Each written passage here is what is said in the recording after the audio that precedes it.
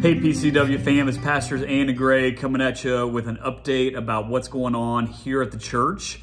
Uh, I want to start with this Sunday and put into your heads to be here for dinner church, which is going to be uh, at 6 p.m. this coming Sunday. This is an additional uh, service that we are having. We are still doing our 10 a.m. worship service in the great room, uh, which I will be preaching. And we'll have a minute for mission to remember our Ukrainian guests arriving here, the two year anniversary of their arrival.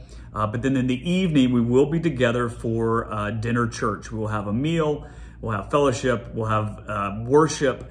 Uh, and time to be together and reflect on how to live out our faith lives. Any questions on anything on that, Ann? That's helpful. Yeah, so we are asking for donations to cover the cost of food, so we don't want to take you unawares by that. Um, Yeah. If you can't afford anything, please come. We will Yeah. feed you. Um, but if you're able to throw in a little bit, we'll have a basket to either collect cash and checks or we'll have online giving with a QR code. Um, so that'll just help us kind of cover those costs so we can keep doing it. So we're excited for dinner church. Yeah, it should be a wonderful time together and a new opportunity to, to be together. That's right. Um, we are also getting prepared for our women's retreat. Uh, October 11th through 13th, but we need you to start registering Yeah. now. Right. So I've heard that there are many of you who are considering it. Um, there's a form that we've been sending out with our e-news to fill out. If cost is a barrier for you, please let me know. Um, we've got some funds that we can provide some scholarships if needed.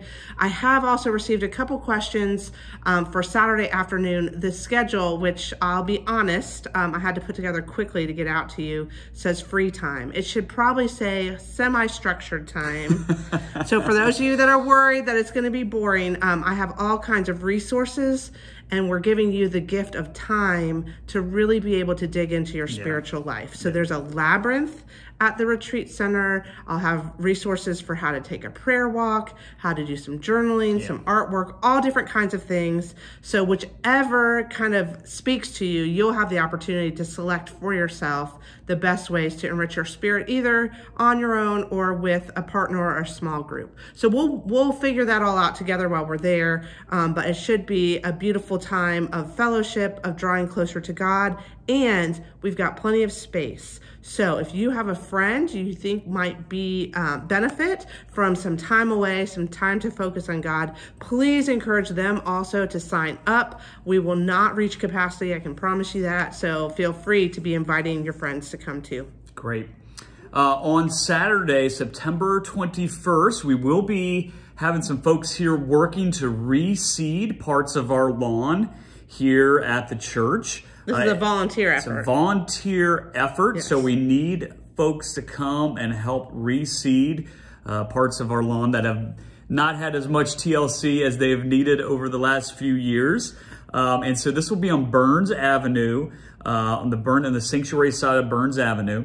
And we will um, be reseeding. It'll be on September 21st, 2 to 5 p.m. And I've told that there will possibly be pizza there too for the volunteers. So uh, if that's something that you would like to do and can help uh, uh, not only make our grounds beautiful, but also uh, help take care of uh, the beautiful gift of creation uh, that we are had. This is part of all the work that not only the plan, our, our plan committee, which is our landscaping committee, has been working on, but also our ECC team to how we can care uh, for our environment and be meaningful and purposeful in how we plant around uh, the church. So that is part of that work. So sa- Saturday, September 21st, 2 to 5 p.m. And then finally, and we've also had some excitement happen around Yeah, here the celebration. church. We had our geothermal test well drilled. So they were able to drill to see how far they would get down before they hit bedrock. Um, and there were some encouraging results from that. We've got great information now for our engineers as they work on the next fan phase of planning. Fanning, um, we like to call it. Um, but so this will allow them to really kind of dial in how many wells do we need, where are they going to go, and that well that was drilled will then become part of our well field. Yes. So it's the earliest well, it won't go to waste, um, but you'll see it, it, might be a couple weeks before the parking lot is completely clear of yeah. kind of the end result of that, that drilling. Um, yeah. But that is gonna allow our engineers to put the plan together. So we're moving forward. We're excited to, it was very cool to watch. Um, and it's um, an exciting project. So great. All right. Well, I think that about wraps it up. Looking forward to seeing you all this coming Sunday for worship at 10 a.m. and then dinner church at 6. God bless. We'll see you then. Bye.